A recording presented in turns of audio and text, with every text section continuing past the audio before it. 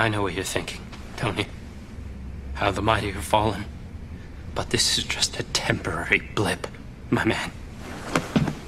Okay. Oh, don't be all touchy. I know I said some nasty things about this being your fault and all, but hubris is a nasty, nasty bedfellow. Almost as nasty as termites. And trust me, I've tried both recently. Wait. You and me are on our way back. I never went away. We're in this together, amigo. No, we're not. Please. Please? Please? Forget about it, buddy. It's all your fault? Pathetic. 10%.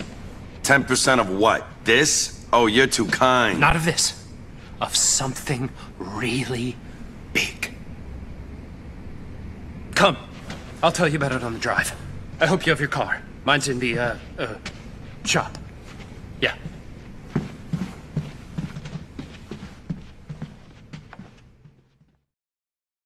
Uh, Toni, transportation would be a boon. Head for the airport, Toni. We don't have a minute to lose. Oh, yes. This is one of my better plans, for sure. I never knew I had it in me. Even Avery would be proud.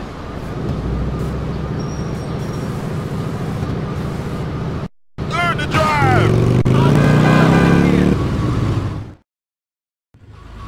Toni, my ex-mentor, Avery Carrington, is flying into town today. It's come to my attention that he's working for the Panlantic Corporation. They'll do anything to get prime real estate. We have to get hold of his plans to acquire land. Come on, Toni, get after him.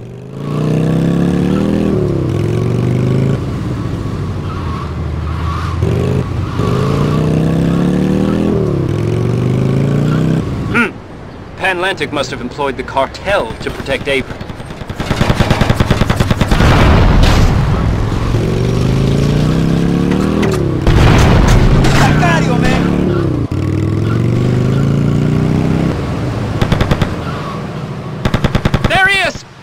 Him, Toni. I need those plans.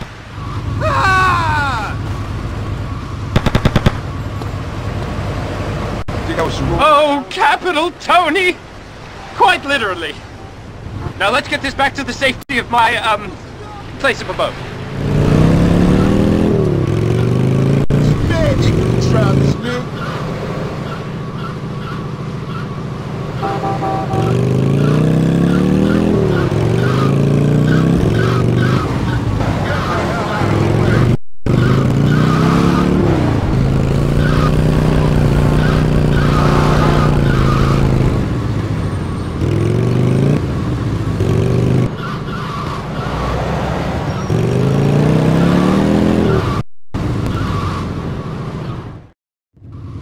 This is gonna make me a fortune.